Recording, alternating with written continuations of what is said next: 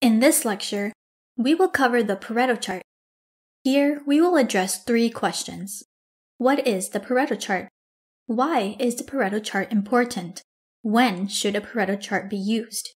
Then, we will see an example of it. Let's get started on the lecture. The first question is, what is the Pareto chart? A bar chart is a chart where the bars are arranged in descending order of magnitude. That means it is a simple yet powerful chart that presents data in descending order. A Pareto chart contains both bars and the line graph where individual values are represented in descending order by parts and the cumulative total is represented by the line. The next question is, why is a Pareto chart important? The Pareto chart is important because it helps us by identifying the most significant potential root cause of problems. The Pareto chart helps the team to understand where to direct improvement efforts to have the greatest impact on performance. The Pareto chart enables prioritization, particularly if there are many problems or causes, and you want to focus on the most significant.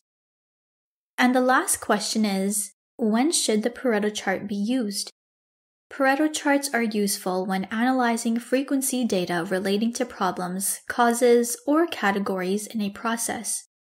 For example, the count of defects of different categories counts of customers from different regions and the like that might be collected in a check sheet. The Pareto chart is also a great way to communicate with others about your data. It also helps to separate important from unimportant causes contributing to a problem. Now let's see an example of a Pareto chart. Earlier, we saw an example of a water bottle production plant. Now we will continue with it. This was the check sheet which we discussed, where we had 250, 750, and 1000 ml, and these were the corresponding defects. Now we will use this data to build a Pareto chart. This is how the Pareto chart looks like. You can see the first bar on the left, which is the highest bar, and it is related to a loose cap.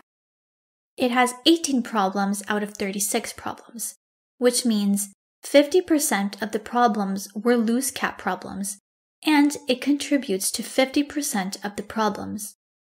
Likewise, each defect is plotted here. We now have the data in descending order. Now the question is how to separate important from unimportant causes contributing to a problem.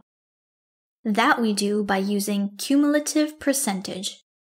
Here we can decide that all the defect left to 80% needs attention.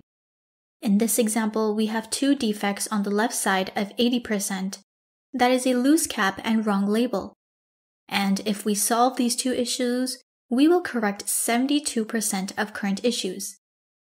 This is how we decide how to achieve maximum benefit with less effort. So, that's how you use the Pareto chart to identify the key. In this lecture, we addressed these three questions. What is the Pareto chart? Why is the Pareto chart important? And when should a Pareto chart be used? And finally, we saw an example of a Pareto chart.